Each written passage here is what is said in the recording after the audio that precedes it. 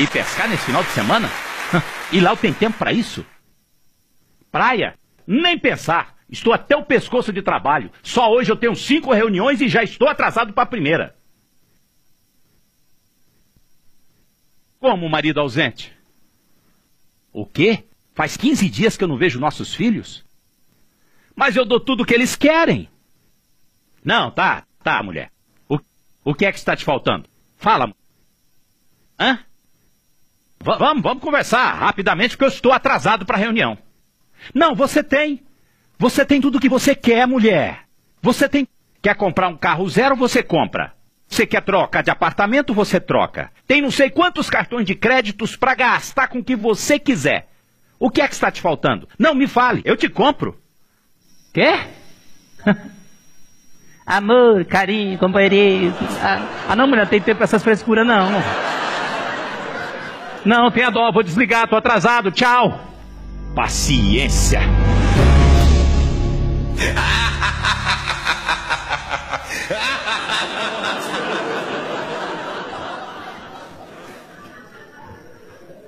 Que que é isso, meu Deus do céu? Quem é você? Eu sou a morte. O que, que você tá fazendo aqui? Chegou seu dia, eu vim te buscar. Você tá louco? Eu não tô doente nem nada? Isso é o que você pensa. Há quanto tempo não vai ao médico?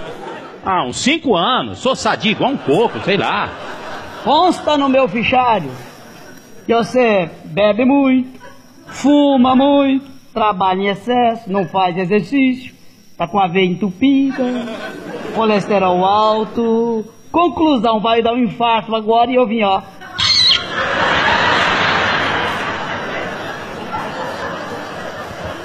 Espera aí. Você tá querendo dizer que eu vou morrer? Agora. Mas isso é uma injustiça, viu? Fique você sabendo que para ter uma velhice digna e de conforto eu trabalhei para morrer. Verdade, acabou pra morrer. Se tivesse economizado energia, cuidado da saúde, podia viver mais uns 30, 40 anos, agora se lascou. Não, não, não, não, não, não. Espera aí, espera aí, espera aí. Tem um mal entendido essa história. É, é, como é que é seu nome mesmo? Anjo da morte, mas pode me chamar de morte mesmo, sou simples. Sei, sei. É. Dona Morte, você sabe que na vida é tudo uma questão de, de, de negócio, né? É. Só não tem jeito pra morte. né? Diga lá. Quanto é que você quer Para me deixar viver aqui mais 40 anos. Pode falar e eu vou fazer o cheque. À vista, à vista. Meu 40 filho, anos. Pode falar. Aqui é onde o filho chora e a mãe não vê. Você se lascou, meu filho, dessa vez. Sabe quantas pessoas tem na Terra? Bilhões. Sabe quantas vão estar vivas daqui a 120 anos? Nenhuma. Sabe por quê? Porque eu vou, ó. Uma por uma. Mas eu vou morrer. Agora! Mas eu vou deixar minhas empresas, meus negócios aqui, a minha família, a minha mulher, tão Você- nova, tão bonita. Você é fingido, hein, rapaz? Você é falso, hein, rapaz? Sempre achou sua mulher feia, enjoada, gastadeira, linguaru. Sabe o que você tá com medo? O quê? Dela casar com outro e gastar seu dinheiro com o Ricardão. Nem fale uma coisa dessa. Nem fale um negócio desse porque vai me dar um troço. E vai mesmo, e é agora?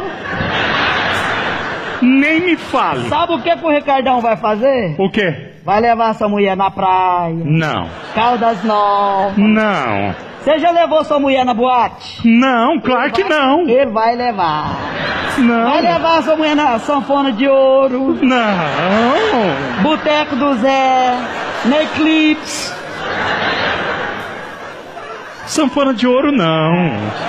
Escuta aqui, o que, que você cismou comigo, hein? Tem tanto bandido por aí precisando de morrer, você vem logo pra cima de mim. Eu não sei se você sabe, eu sou um empresário honesto, É. trabalhador, cumpridor dos meus deveres, contribuo com o crescimento desse país, pago os meus impostos em dia, Todo mundo é assim. Leva os bandidos que estão por aí que tem demais. Bin Laden, sei lá, me deixa em paz. Rapaz, deixa eu ficar empurrando os outros, rapaz. Chegou sua vez, meu filho, ó. É hoje. É aquele velho ditado, né? Pra morrer, basta estar vivo. Isso é filosofia de boteco, rapaz. Ô, ô, ô, ô, senhorita, Senhorita Pará, rapaz. Eu já tô apelando com você, rapaz. Eu já tô, eu já não tô uma pronto pra morrer, não. Eu já tô uma morte meio cansada já, já tô querendo pedir aposentadoria. Rapaz, eu já tô cansado de tirar motoqueiro, meia, meia hora o motoqueiro morre, eu... Ah, rapaz, Me- me- a- a- arruma logo eu vim te buscar. Pelo amor de Deus, por tudo que é mais sagrado, me deixa viver aqui pelo menos mais 20 anos. Você tá louco, rapaz, 20 anos é eternidade. Tá bom, 10 anos então. É muito. Chama que morte mais ruim de negócio, meu Deus do céu. Pelo amor de Deus, me dê 5 anos. Cinco. Ainda bem, 5 Cinco anos. dias. Cinco dias? Isso pra você repensar a sua vida, ver se valeu a pena ganhar tanto dinheiro, correr tanto pra não levar nada. Já viu falar que caixão não tem gaveta? Você não vai levar nada. Mas E vocês que estão me olhando aí, o dia de vocês vai chegar e eu vou, ó. Cinco dias, ó. Oh.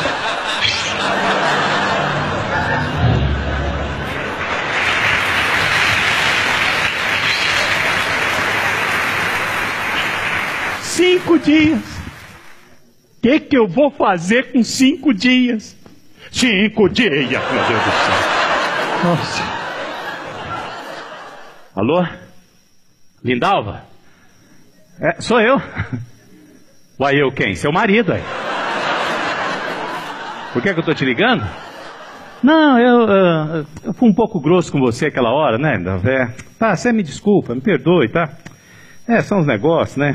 É. Lindalva, eu pensando sobre aquilo que você me falou. Uai, sobre passear, uai. É? Não, vamos, vamos, vamos. O que é que me fez mudar de ideia? Ah, a vida é muito curta, né, Lindalva? É. Você pode estar morto daqui cinco dias. Vamos. O quê? Final de ano? Que final de ano, mulher? Arruma a mala, eu tô passando aí agora.